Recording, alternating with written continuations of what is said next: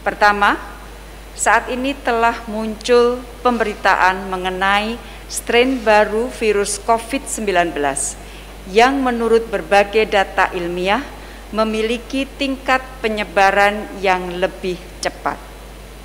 Kedua, mensikapi hal tersebut, rapat kabinet terbatas tanggal 28 Desember 2020 memutuskan untuk menutup sementara, saya ulangi, untuk menutup sementara. Dari tanggal 1 sampai 14 Januari 2021 masuknya warga negara asing atau WNA dari semua negara ke Indonesia